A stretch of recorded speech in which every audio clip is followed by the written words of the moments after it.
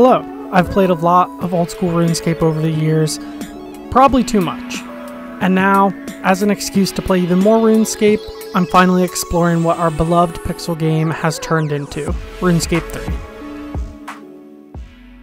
Hello and welcome. So, as you can tell by the decorations and the egg sign next to me, it is coming up on Easter time, and as we all know, Jagex loves doing holiday events, and I've heard the holiday events in RS3 are really good. So that is what we're going to start off with today.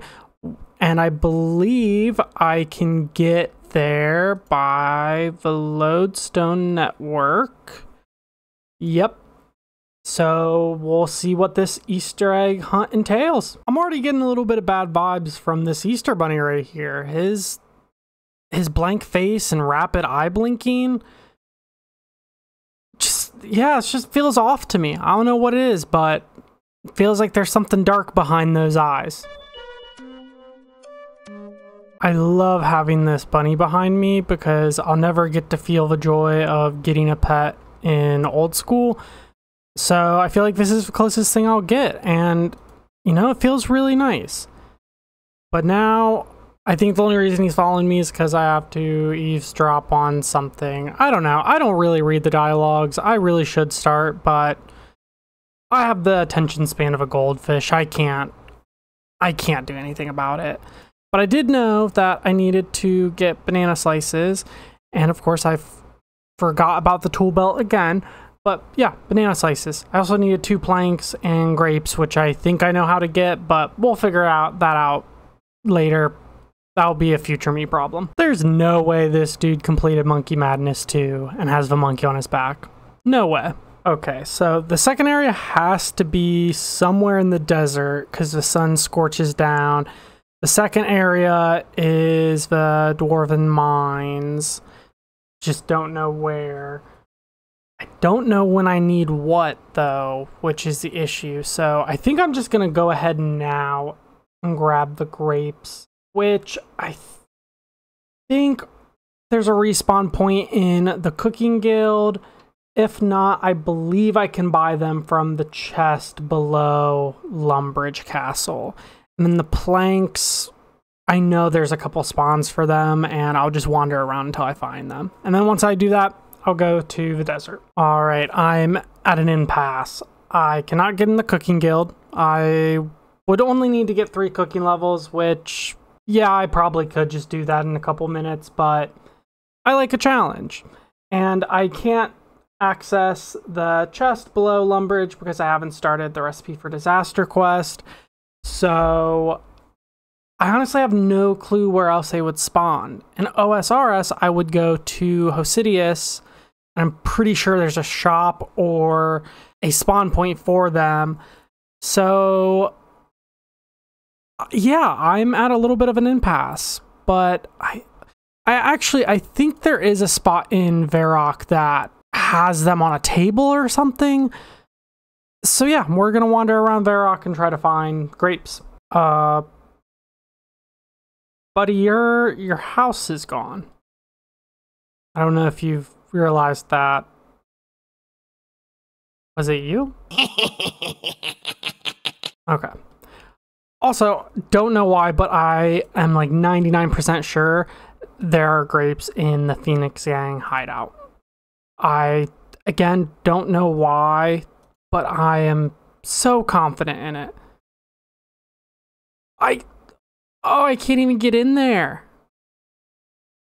Wow, this is just one punch in the face after the other.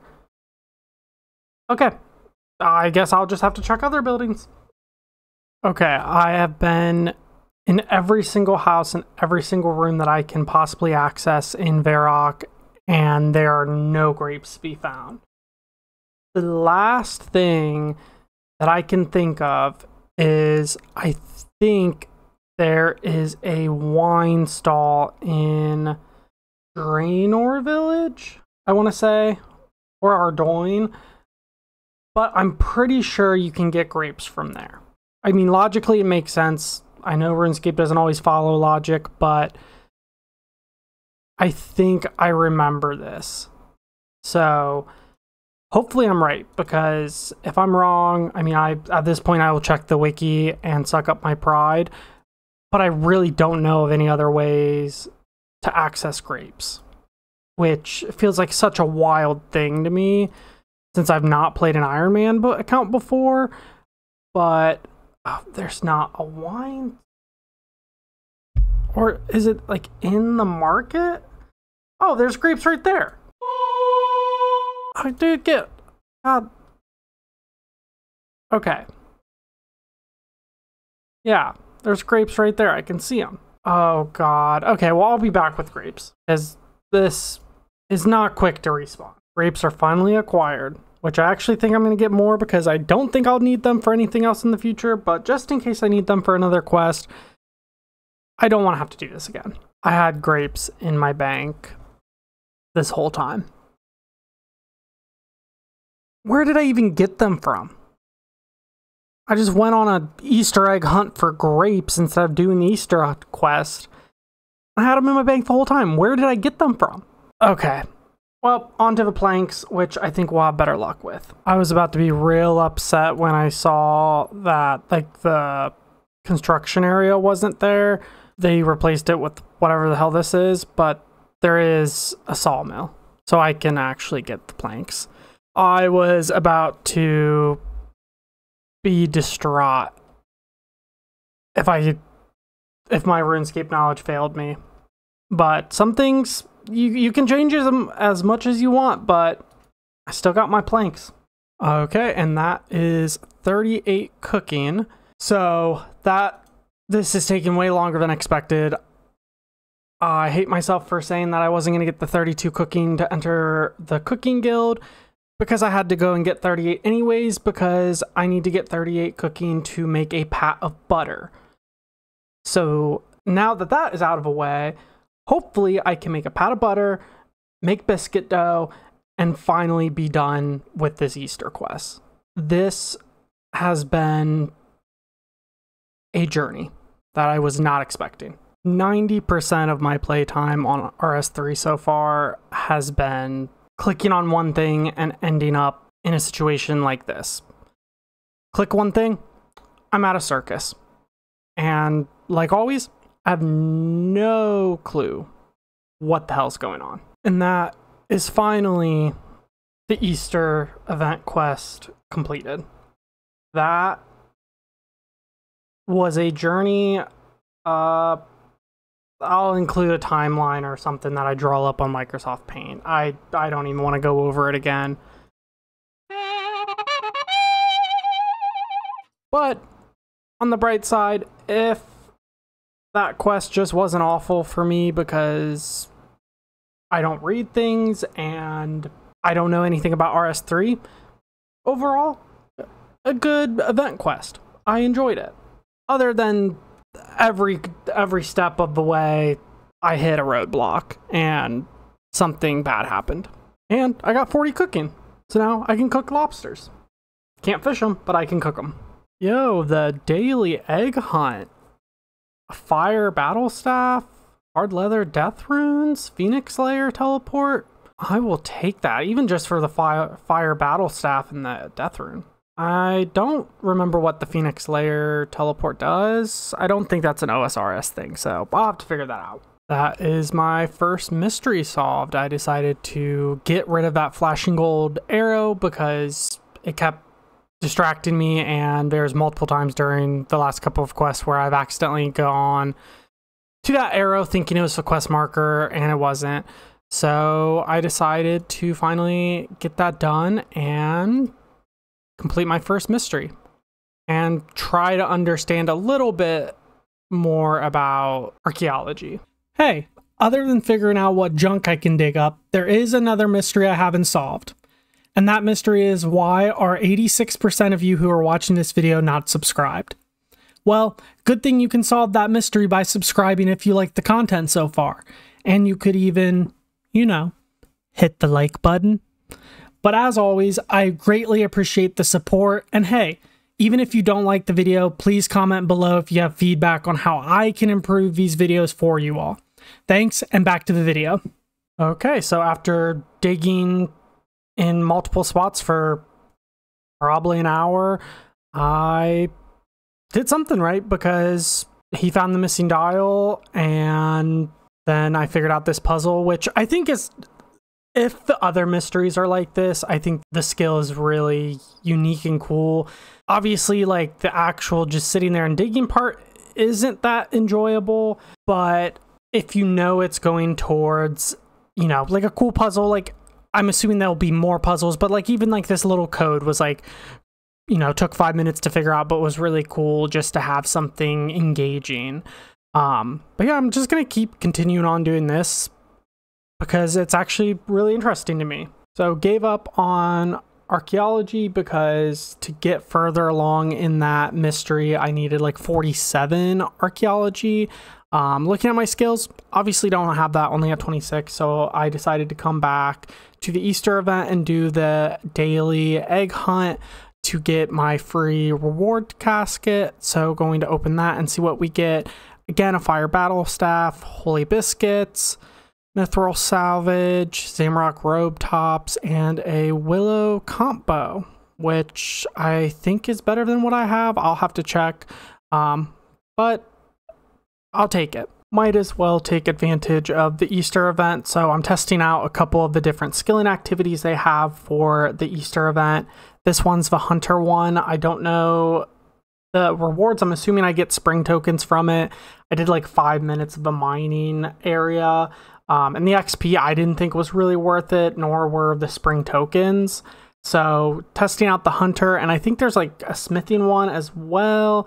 And then I don't know what other ones there are, but I'm going to be here for a little bit and just kind of test out the different activities to see if any of them will be good for my XP gain um, and make use of it while the Easter event's going on. And got 30 hunter from doing this. Okay, so decided to switch things up and train some necromancy and just got up to level 30. So got soul attraction, output from ritual, decreasing the length, blah, blah, blah. I will read that in a second. Um, but one thing I did do was I upgraded some of my armor to tier 2. Now that I'm level 30, I guess I just have to go and increase it to tier 3 now but really enjoying the skill so far. It's pretty interesting to train, and I know I've read a lot about it being, even after the combat rework that happened a couple weeks ago, still pretty much being easiest and best combat style to get leveled up early and use. All right, and that is my necromancy gear upgraded to tier 30 after a little bit of grinding and doing that quick mini quest. And I think at this point now, I'm going to go ahead and do I saw it Rune Mythos, I believe is what the quest is. And it's for making necromancy runes, I believe. But I'm going to go and look and figure out how to get that started. There's a lot of content that they've updated graphically in this game. And I love how the one thing they decided to just be lazy with is these impure essence, which are just purple pure essence. I love how they just went in Microsoft Paint, painted them purple, called it a day. But then everything else has been so insanely updated. But we got told to go up to this portal to learn how to craft necromancy runes. So I believe once we do this, oh, I have, okay, craft runes. Oh, there he is. That's a dude who always pops up on my screen and annoys me. Okay, there we go. That just gave me a rune crafting level. So now we have spirit runes, and I'm assuming that we just go back and speak to that dude by the ritual site. And that is Rune Mythos completed. Got two XP lamps. I have access to making essence, incantations, teleport, and the Lesser Bone Shield incantation. And with that XP lamp, I got a level and got the Blood Siphon ability, which seems like it's kind of comparable to like Blood Burst in the Ancient Spellbook on OSRS. So I feel like this will be really nice for hopefully some bossing sooner or later. So I came back to May after I completed that quest because I feel like I remembered really early on that I went and talked with her and there's something about quest points that she could do open shop, maybe? Oh, yep. So earn quest points to claim more rewards. Your next are at 50 GP. So what do I get? I get a magical dice. Okay, I have no more to capture, roll, and let's see what I get. All right, 250k? Oh, I should have looked at this before I spent like two hours, two or three hours thieving and squashing scarabs. But that's a huge boost that will probably pay for a lot of my runes and some upgrades. Then I got black plate body. Jeez. How much? 43k if I could sell them on the G. Awesome. So I'll just have to remember at 50 quest points to come back to her and get another dice roll. One of the last things I wanted to try since I have access to a lot of the dailies, so the player owned farms, wilderness flash events, which are more hourly, but whatever. Um, I have a, a couple of herb patches that I have access to, specifically right now, the one at the player owned farms. So the next one I want to do is the cache. So from my understanding, what I read on the wiki, that is a divination D&D. So while I'm waiting for that to open up, since it opens up on the hour, I am going to sit here and get some divination levels. So just like everything else in RS3, which I should have assumed, there is a tutorial type thing that I have to do, I believe, before I can do the cache event. So I'm going to go work on that or not, maybe. Um, so then maybe the next one or whenever I'm on next, I can go ahead and do it. But for now, that plan is out the window. Is this really what Guthix looks like in RS3? Because this dude looks goofy. Like, this is a goofy looking dude. And I don't know if I can believe that he was a god. I don't know, though. I've seen a lot of goofy looking RuneScape characters, so it wouldn't shock me if this is what he actually looks like. All right, and that is the tutorial stage done for the divination hourly event. So now the next time it comes up, I will actually be able to do it and try it.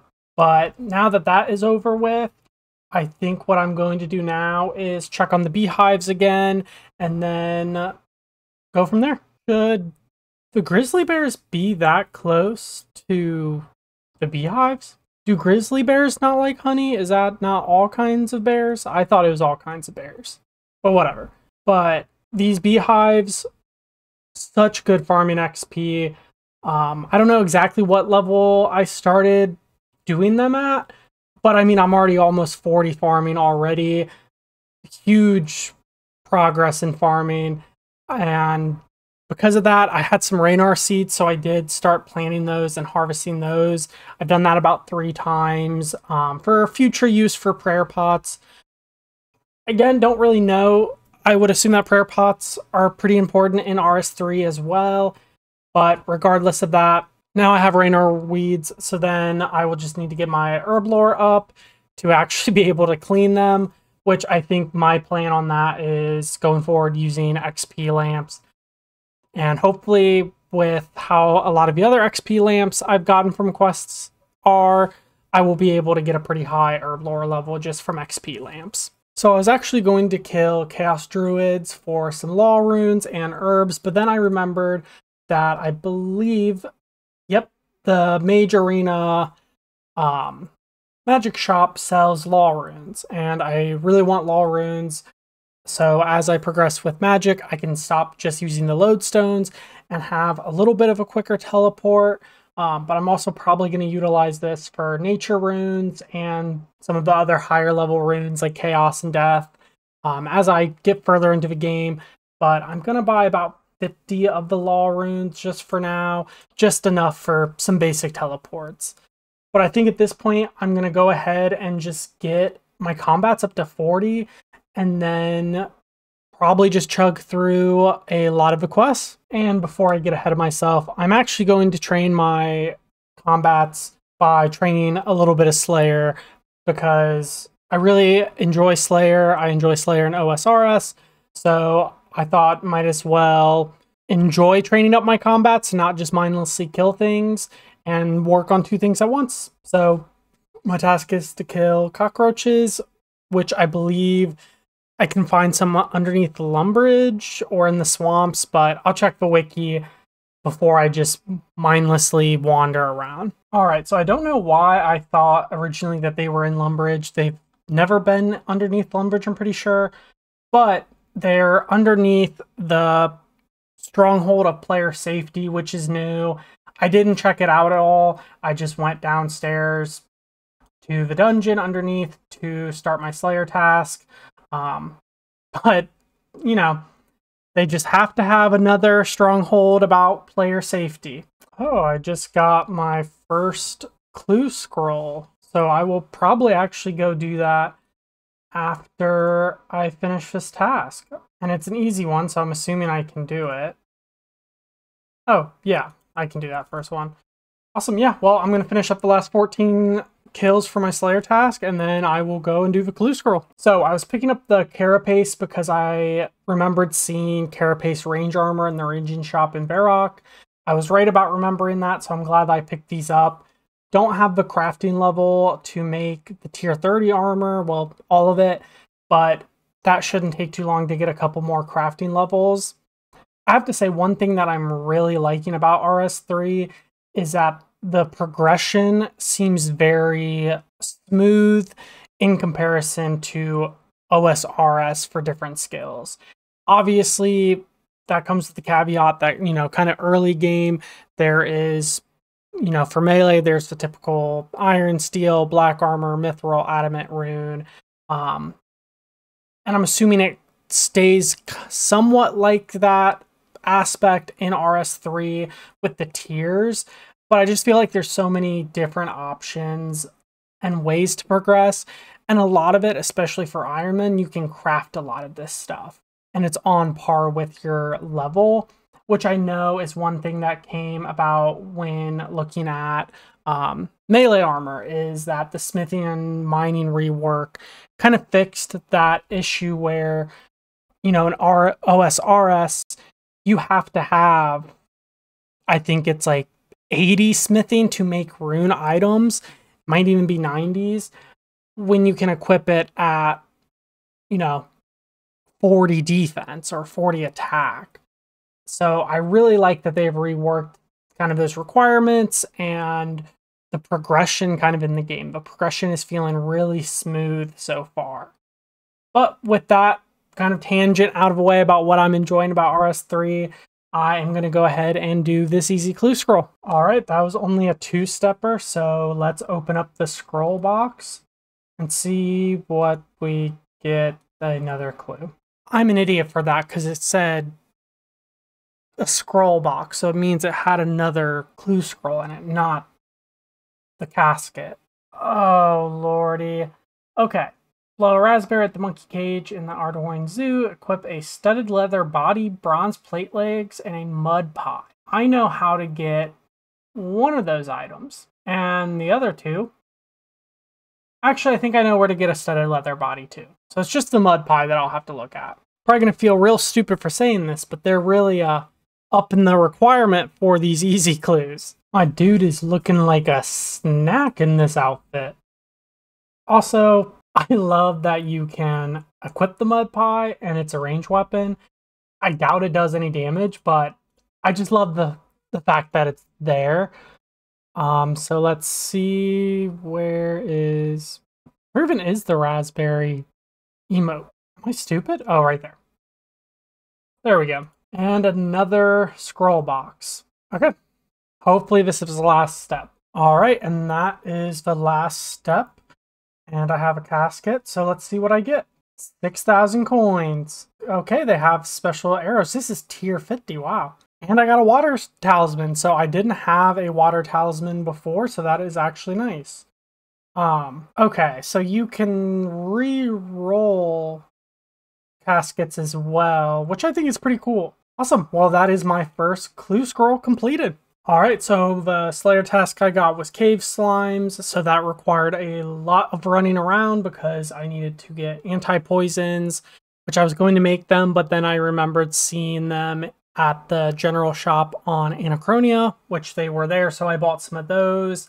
And then I also had to make a oil lantern, and then I bought a spiny helmet because I know for a fact that you have the, I think they're called wall grabbers in the Lumbridge Swamp. So to avoid damage from them, I also got that, as long as they're still a thing in RS3. But now it's time to go down into the swamp and kill the cave slimes. I'm glad I bought the spiny helm because there was a wall beast right near the entrance of the caves. But with that, done with the Slayer task, I think that is where we are going to leave off for today. As always, appreciate the support. Thank you for watching the video, and I hope you have an amazing day.